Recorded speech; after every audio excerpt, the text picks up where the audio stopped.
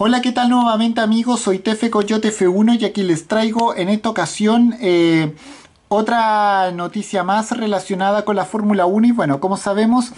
esta tiene que ver con el jefe de equipo de la escudería Hassef One Team, o sea, Gunter Steiner, porque Gunter Steiner eh, habla esto sobre Daniel Ricciardo, que dice así, en algún momento hablaré con él. Bueno, como sabemos, los jefes de equipo de los conjuntos eh, One Team y Alpine F1 Team eh, se pronuncian acerca de su contrato con el piloto australiano que regresa al paddock de Fórmula 1 para esta versión 2023 del Gran Premio Australia, que será precisamente en Albert Park, Melbourne. Y bueno, sin más que decir, vamos a hablar un poco de aquello. Bueno, como sabemos, eh, Daniel Ricciardo ya está de vuelta en la Fórmula 1, aunque seguro que no es en el modo en el que más le gustaría al corredor australiano y bueno, quien ahora se desempeña como tercer piloto reserva del equipo Red Bull Racing, equipo del que huyó en su día generando mucha controversia y el que ahora regresó como, eh, como piloto sustituto y de simulador y bueno. Con esto y en vista de lo atractivo y dudoso que resulta a partes iguales para muchos conjuntos la figura de, este piloto australiano, ganador de 8 competencias en la Fórmula 1, tanto Otmar Software tanto Sofnauer como Gunter Steiner hablaron acerca, acerca de los contactos pasados y futuros con el piloto oriundo de Perth, quien se que decidió dedicar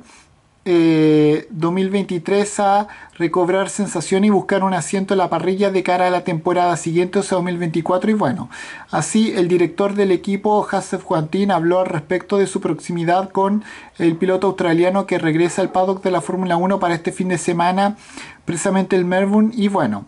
por supuesto en algún momento hablaré con él, pero no puedo asegurar nada. Pero porque si, si nuestros pilotos hacen un, buen trabajo este año, creo que nos quedaremos, nos quedaremos con ello. Eso indica el jefe del equipo domiciliado en Bambury, que ya el año anterior estableció conversaciones con eh, Ricciardo, que sin embargo estuvo poco, poco receptivo a seguir en la Fórmula 1 luego de lo visto de su última temporada con el equipo McLaren y bueno. Todo el mundo quiere hablar con Daniel. Eh, el año libre eh, tal vez sepa nuevamente lo que quiere hacer y sea interesante para todos en la F1. continúa, eh, eso continúa el mandatario alemán, quien en su, en su transparencia habitual no niega la posibilidad de recurrir al piloto australiano si su, dupla, si su actual dupla de pilotos conformada por el danés Kevin Magnussen y el, y el regresado piloto alemánico Hulkemer suerte eh, su, no el efecto deseado y bueno. Por el momento necesito saber, tengo un nuevo piloto este año que solo ha hecho dos carreras para el equipo, así que necesito darle una pequeña oportunidad. Insta precisamente el team principal del equipo domiciliado en Bambury acerca de la opción de Ricardo para la temporada 2024. Bueno, por otro lado, el equivalente a, a Steiner en la escudería Alpine, o sea,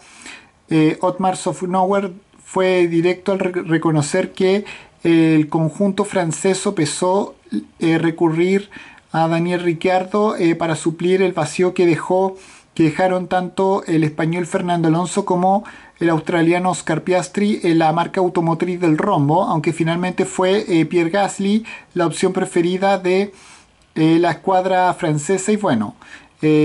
Tuvimos conversaciones con Daniel y terminamos con Pierre cuando estuvo disponible. Eso mantiene el mandatario rumano acerca de la posibilidad de traer de vuelta a Ricciardo, cuya salida del equipo Renault en la temporada 2020 tampoco sentó demasiado bien en la directiva de la, de la marca automotriz eh, Gala. Y bueno, con esto, aunque no sea con Alpine, eh, eh, el, el mismísimo Softnowhere no piensa que las puertas de la Fórmula 1 se hayan cerrado definitivamente para el piloto australiano y bueno, y esto completa el responsable del equipo con cuartel central domiciliado en Enstone. Firmó con Red Bull ahora, pero creo que es un piloto de carrera fantástico, todavía es joven eh, y no me sorprendería si vuelve a competir en el futuro. Bueno, y con esto me despido, adiós, que me fuera, chao.